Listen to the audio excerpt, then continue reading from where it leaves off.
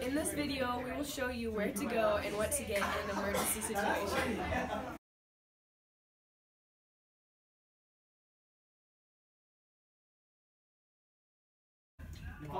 Make sure the gas is off when leaving the lab.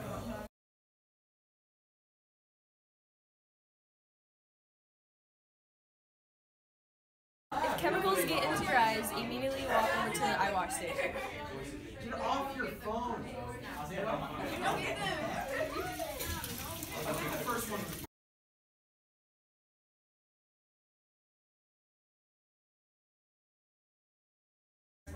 This is where you find the sweepers if you have any broken glass. I'm going to show you grabbing a duck.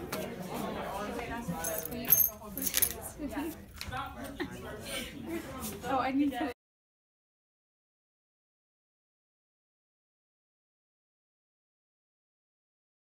If a body part happens to catch fire, immediately retrieve the fire blanket.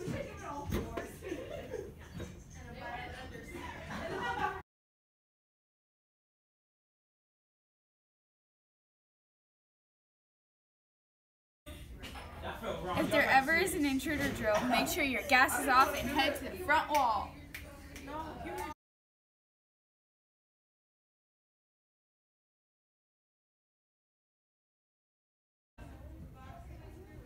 If there ever is a fire drill, we go out these doors.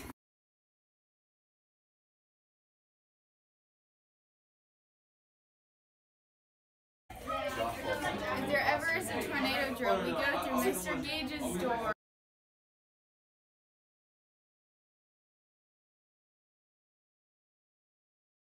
If a fire ever starts in a lab, make sure you go over to the fire extinguisher, pick it up, and take it to your lab.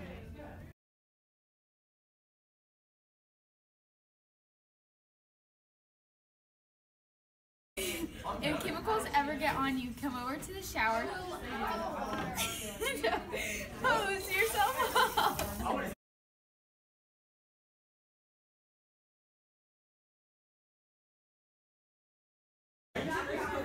If the classes ever need to be evacuated, the emergency exits are right here and over there. So remember to stay safe in the lab and follow all the directions your teacher gives you and always, always remember where the emergency equipment is located.